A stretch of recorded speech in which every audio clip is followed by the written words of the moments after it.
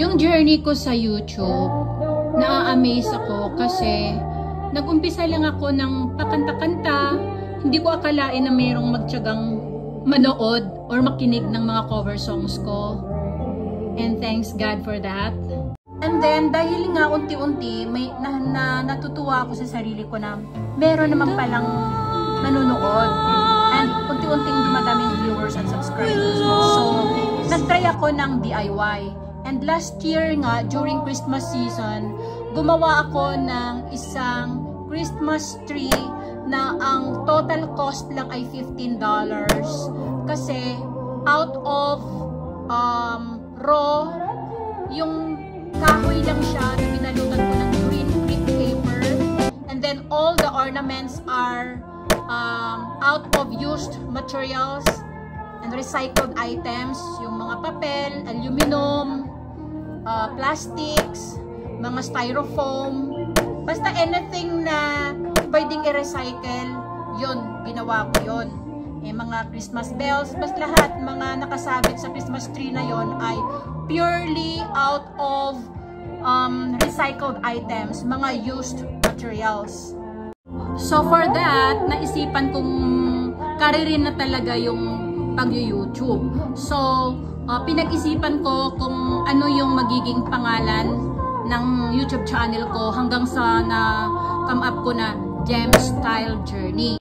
Blessing in disguise na nung dumating si Live Good sa buhay ko, doon talaga na monetize ang YouTube channel ko kasi umabot na talaga siya ng umabot na ako doon sa ano sa requirements na 1,000 subscribers and 4,000 watch hours. Na-reach ko na talaga siya. Because sa Live Good um syempre may mga YouTube ako na I mean, may mga videos sa tutorial videos na syempre, pag mayroon ka ng team, syempre pasa-pasa, di ba, share nila yon So, ang bilis niya talagang uh, um, tumoble ang kanyang ang subscribers ko from 1,000 some nagiging 2,000.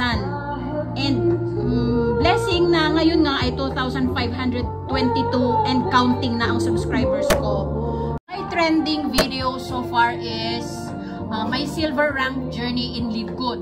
Yun talaga, bumulusok siya. Doon dumami ang subscribers ko. Umabot siya ng um, 2,522 nga ngayon and counting.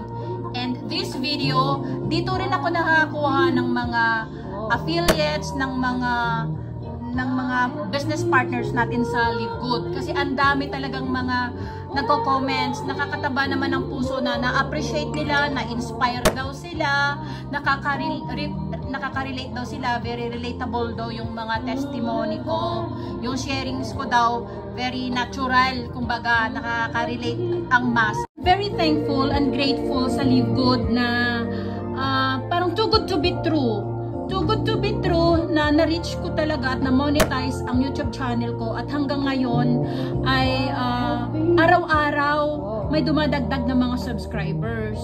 So, nai-inspire ako everyday na, na at naa-amaze na yung pagdating ng Live Good talaga, talaga sa buhay ko ay nakakatulong talaga. Ang ma-advise ko lang dun sa mga small YouTuber na parang napanghinaan ng loob kasi ang hirap nga naman na mabuo ang 1,000 subscribers, no? Pero wag kayong mag-give up. Don't quit. Kasi isang video lang na trending video, yun ang makapag-monetize sa inyo. Una, medyo, medyo nangangapa ka pa.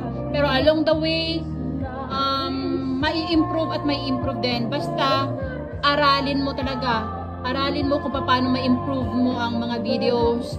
Kung mapapanood mo yung mga videos ko noon, ang daming mga, ang dami kong mga inaral, ang dami kong uh, dinevelop from thumbnail, kung paano yung tag, lahat. Kahit na na-monetize pa, try to improve kung paano ma-establish yung niche mo, kung paano mo ma-establish yung brand mo, kung ano yung uh, ipapahiwatig mo sa mga viewers mo yung titles, yung description.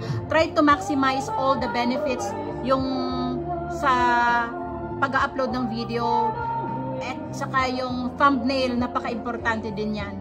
So, dahil dito, um, ina-enjoy ko lang yung journey ko sa YouTube and gusto kong ah, ibalik yung gratitude sa mga subscribers ko, sa mga viewers ko and ah, bilang pasasalamat, I want to share the blessing. So, surprise yan. Kita-kits tayo sa mga subscribers ko. So, to be announced pa po yan kung saan at kung kailan. Okay? Alright, thank you very much. God is good all the time. God bless you all. Thank you.